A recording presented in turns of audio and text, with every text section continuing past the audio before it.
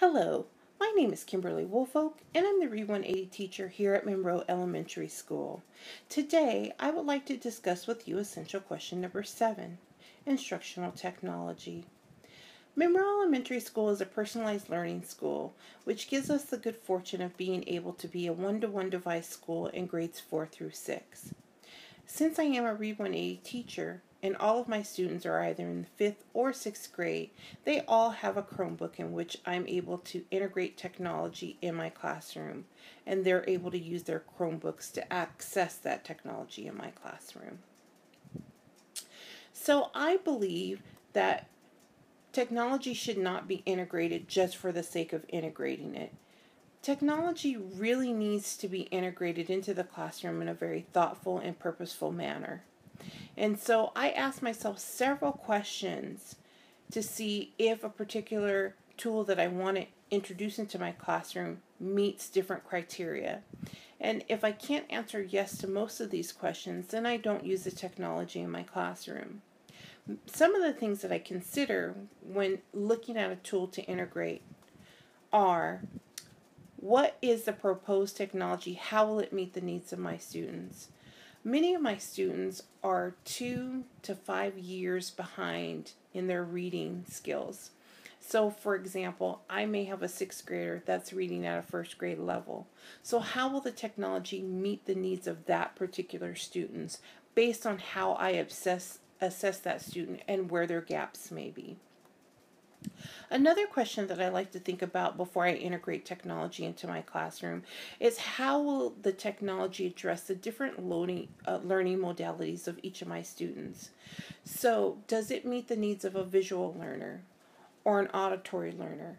Or maybe a kinesthetic learner. So, how does the technology incorporate each one of those learning modalities so that all students are able to access the curriculum? In addition to that, how well does the technology help my ELD students who are not only trying to close the gap in reading, but they may still have some language barriers as well? A next question that I ask myself is how will a the proposed technology that I'm using help my students be introduced and to develop higher order thinking skills and interact with the content at a deeper level. This is critically important for my students. Once we are able to close the gap in their reading, we need to be able to transition those Read 180 students back into their general ed classroom. In order for those students to be successful, they need to have started to develop some strategies and skills to help them interact with content at a much deeper level. So I want my students to have exposure to software that will help them think at a higher level. So I want to try, as always, to bring in technology that will introduce and help them practice that skill. Next, is the proposed technology presented in a way that is engaging to my students? In other words, do the students not realize that they're learning what I need them to learn and that they're applying the skills that we've learned in class with the software? And so that's very important because if kids don't realize that they're learning and they're just having fun, it makes it easier to introduce them to much difficult skills and then they're able to access it through the technology and have fun. Because as you know, if learning is fun, then you help students develop the skills to be lifelong learners, and that is truly important. Lastly, the question that I will always ask is Will the proposed technology extend learning outside of my classroom? So, an example of this is maybe a reading software tool in which my students are able to access reading content outside of the classroom. So, how will that help them build skills while they're at home or in the home setting? In particular, this is important because students may or may not have support at home or may have parents who are not familiar with technology. So I need to integrate a tool in which students are able to use that tool without necessarily having to have a lot of support at home. So if the technology that I'd like to integrate in my classroom can meet those criterias, then I will use them and introduce them to my students. Here is a list of some of the software that I use in my classroom. And what I'd like to do first is to introduce you to uh, my Haiku page. And really, Haiku is the place where I house all of the links to my technology, and it really is a repository for our learning. So, first of all, I'd like to introduce you to my Haiku page before I discuss some of the other technologies that I'm using in my room. Let's go to Haiku. So when students first get to my haiku page, they will end up on this welcome page. And as you can see, I have a list of the classroom rules that we decided on together. I have a picture of the brain and how the brain works. At the beginning of school, we spent a lot of time talking about a growth mindset. As you can see, there's a video down here that gives them an illustration of how to be successful and how to use a growth mindset to overcome challenges that they may have with reading. And we just discuss a lot about how we can really train and reprogram our brain our brain so that reading becomes less difficult for us as we engage in our practice of reading. So on the sidebar here, if you look to your left, I have a list of all of the uh, things that are available to my students. If they are highlighted in red, that means that page is published and my students are able to see the content on there. Uh, so if I can go to the Habits of Mind page, you will see that we practice the strategy of habits of mind within my school. And within my classroom, I always tie it back to a skill that we're learning in class. So, for example, if you scroll down, you will see the habit of mind that we're learning for that month and a video of that particular habit. I want to give my students a visual um, and a video really helps for both my visual and auditory learners. It also helps for my ELD students as they have a frame of reference. And I try to find something funny and engaging so the students take the time to watch it. Uh, so, for instance, if you look here for a habit of mind for January, which is striving for accuracy, I had a picture uh, trailer of Brave and how she was striving for her target. She didn't want um, anyone to win her hand in marriage. She wanted to be able to pick her own suitor, but she had to win the challenge to be able to do that. And what we did was we tied striving for accuracy back to our skill of fluency. And so I wanted my students to understand that not only was it about how many words we could read in a minute and how fast we were reading, but it really was about being accurate. And we shouldn't sacrifice speed for accuracy. So I wanted my students to be able to practice not only being fluent, but being accurate. So now if you look to the side here, you will also see each of the units of study. So currently we are in workshop 8. And if you look on this page here, you will see at the top that there is a link to the Read 180 software, and that's right here. So students are able to access it all the time. Uh, we will move into narrative writing here, and so you will see that there's a link to Storybird. And so students will go here and they will sign up for that link, and so that will help them as well. And then as you scroll down on the page, you will see uh, that there is uh, the theme that we're studying, which is compare and contrast for this unit, and then some kind of visual tool for them uh, to look at and remind what the theme or the readings will be for that particular unit. Also, if you take a look on the right, you will see the unit vocabulary. So that is posted here as a reminder. It is also up on the board in my room, and so students are able to go here and look, and then we will teach the vocabulary from this point. But I always want the students to have a reference point. Uh, the last thing I'd like to show you, if you can uh, look here, is uh, the writing and the writing process. So here I have different pictures that I have integrated and a video in which talks about race and short constructed responses. I also have writing rubrics there so students are able to go and they're able to look at the rubrics and basically self-evaluate their writing against the rubrics. One other thing while we're here that I think is important that I want to show you is the parent corner. This is something I recently decided to add to my haiku page. I'm trying to help my students enlist the help of their parents and have more support at home. And I know many times parents uh, really don't have a lot of time to spend, so I've tried to make it easier. Uh, this page is truly a work in progress. As you can see, I have one portion here uh, that I have had translated into Spanish, if you look right here, uh, for my parents. And so I will continue to have the uh, next set of um, boxes translated into Spanish as well. And my intention here is to continue to post helpful hints um, and habits that we're working on in class um, for my parents so that uh, they are also able to see what we're working on and then we can extend the learning outside of my classroom. So again, here's a list of the technology that I use in my room. Uh, as we've just taken a tour of uh, the haiku page right here, uh, hopefully you gain a better understanding of how I have my um, classroom organized online. And next, what I'd like to discuss is really the uh, crux of what we're doing in my classroom, and that is the Read 180 software.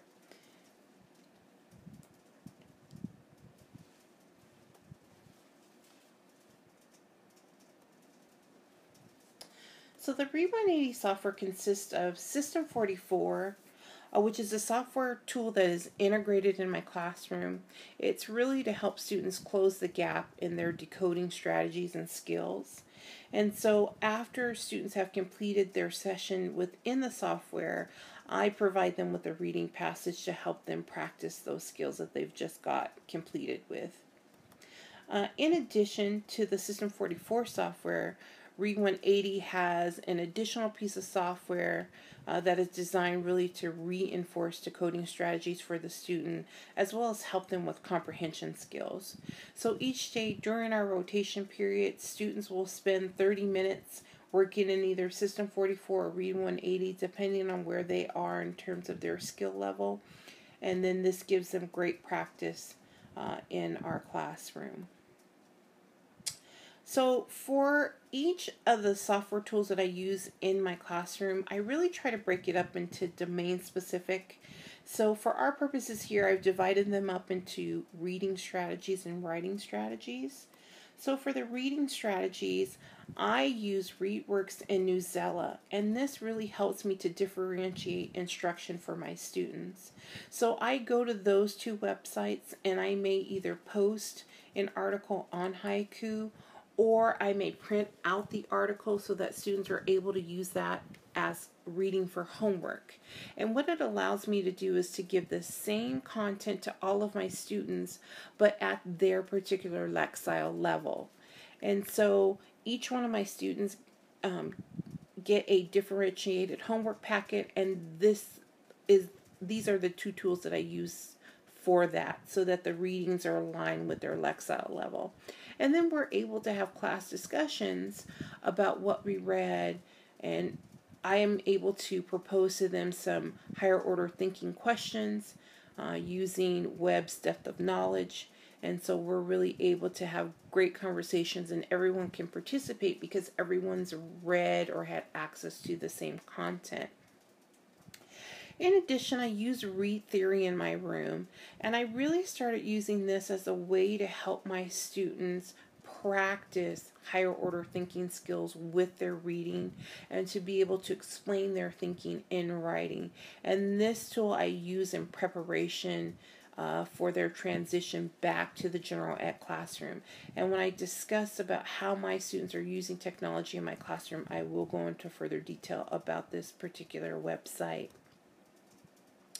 In addition, uh, fluency and the fluency practice is a very important piece in my classroom. And so I assign or give to my students each week a fluency passage for homework. It's a one minute time reading that they can time themselves. And I have students recorded every other day in Google Fluency Tutor. And this is really a tool for them and for me. I have a fluency rubric in which I have them grade themselves if as they hear the playback of the recording. It also helps me figure out since I don't have a chance to sit down and read individually with my students every day, this is my opportunity to really hear them read and figure out uh, what problems they may encounter as they're reading. And so it really helps me uh, to deepen and change my instruction towards the needs of my students. In addition, I uh, have two tools that I use in my classroom uh, to give access to my students to reading content which is Destiny, which is our online tool in which students can look up reading material in our school library and even check those out through Destiny. And so that way they can go to the library and pick up the books that they're reading. And then Epic, which is a great online website that gives students access to hundreds of titles. Uh, many of the books uh, have AR quizzes on them, and so students are able to read the books in Epic and then take an AR quiz. Uh, and this is another site that I will touch upon when I talk about um, how students are using technology in my classroom. Lastly, of course, our school uses Accelerated Reader, and this is a great tool um, to measure comprehension and vocabulary. It's also great for me in that I can compare how students are doing in terms of their Lexile number in AR against what they're doing uh, in Read 180's SRI, which tests which tests their Lexile level. So essentially, in Read 180, students take a scholastic reading inventory which measures their SRI, but we're only taking that once a semester. And so what I do is I'm using the AR Lexile as a way to pinpoint how effective my instruction is. So if I am using the correct strategies and skills and if I'm helping my students apply those strategies and skills, I should slowly see their Lexile level in AR raise. If it doesn't, then I know that I need to make some adjustments to my teaching skills. So this really helps me do that. So writing, writing is a big component in Read 180, and so there's several pieces of software uh, that I use to help students with the mechanics of writing as well as the writing process itself. So we use Spelling and Vocabulary City to not only help my students uh, learn spelling patterns, which will ultimately help them build great skills in reading, but to really learn and understand their vocabulary words for the unit and then using those vocabulary words in the writing.